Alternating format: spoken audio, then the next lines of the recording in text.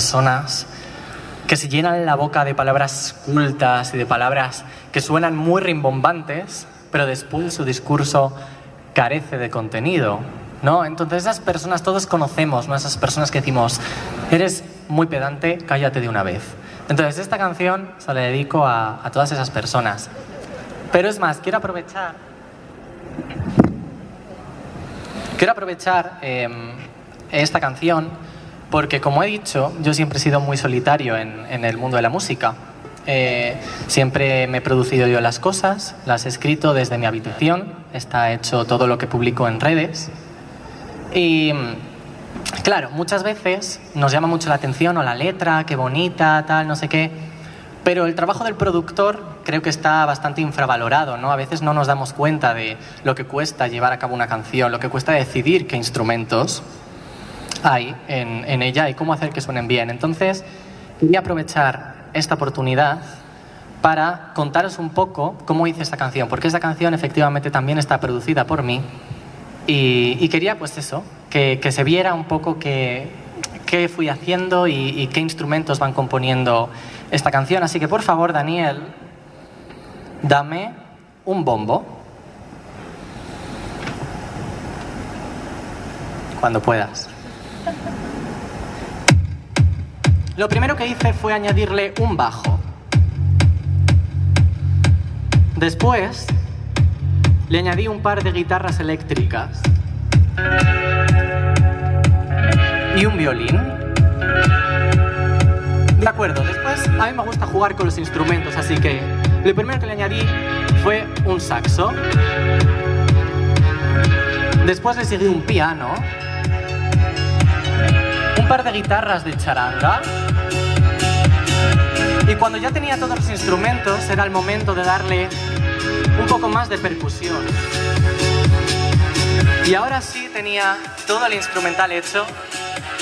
Y solo quedaba la última parte, que era añadir la letra, que dice así. Es usted algo petulante, presumida y vanidosa, cuando muestra jactanciosa sus cultismos rimbombantes y me hastía, me exaspera, me importuna y me sulfura cuando desde las alturas alardean demasiado. No es más que una negligencia el pensar que el diccionario va a rendir lo necesario a su mermada inteligencia y ha de ser reconocido que produce cierta bulia escucharle en su tertulia tanta frase sin sentido.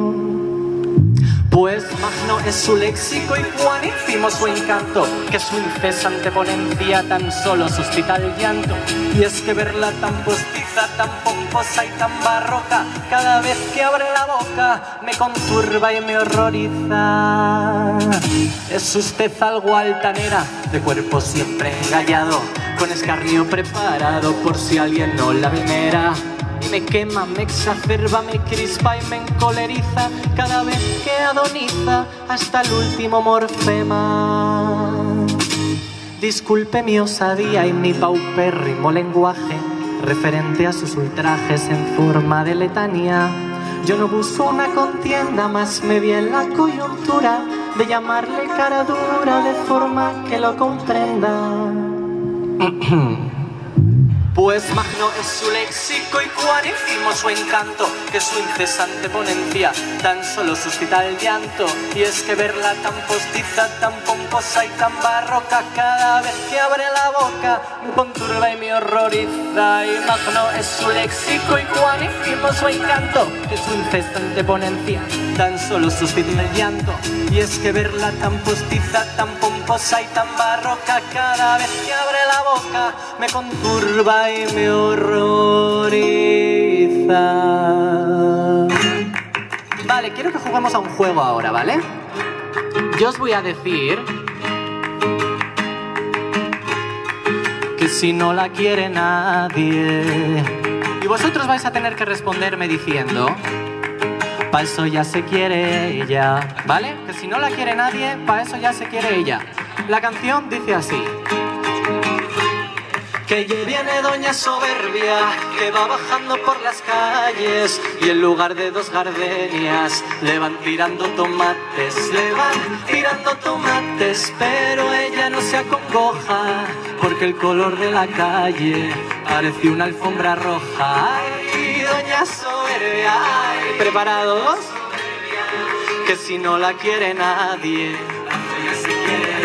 Ay, doña soberbia, ay, un segundo intento. Que si no la quiere nadie, Ay, doña soberbia, ay, doña soberbia, doña soberbia, doña soberbia, doña soberbia, ay, doña soberbia, que si no la quiere nadie, paso ya se quiere ella. Muchas gracias.